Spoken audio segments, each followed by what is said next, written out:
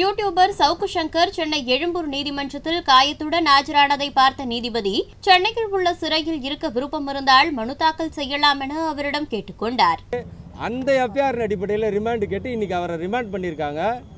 இது சம்மந்தமாக நீதிமன்றத்தில் முறையாக அணுகி அதில் வந்து பிணைக்காக நாங்கள் பிணை ஆவணம் தாக்கல் பண்ணியிருக்கோம். அந்த பிணை ஆவணத்தின் மேலே அவர் நோட்டீஸ் போட்டிருக்காரு.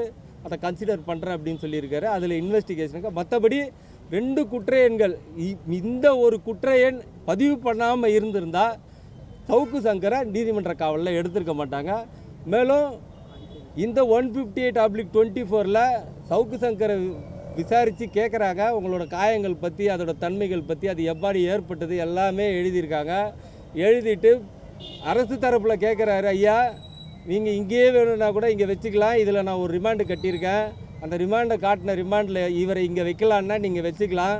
நீங்கள் ஒரு ரிக்வஸ்ட் கொடுங்கன்னா அதுக்கு அரசாங்க தரப்பில் எந்தவித மனுவும் பண்ணலை.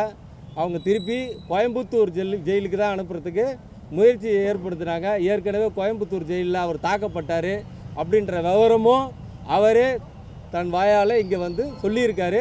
அதை பற்றின முறையான விசாரணையை நடக்கும்னு சொல்லி நீதிபதி உத்தரவு கொடுத்துருக்காரு. இது முழுக்க முழுக்க மூன்றாவதாக ஒரு வழக்கு. ரிமாண்ட் ஆகாது அப்படின்னு தெரிஞ்சுக்கிட்டு மூன்றாவதாக ஒரு வழக்கை போட்டு அதில் ரிமாண்டு காமிச்சிருக்காங்க.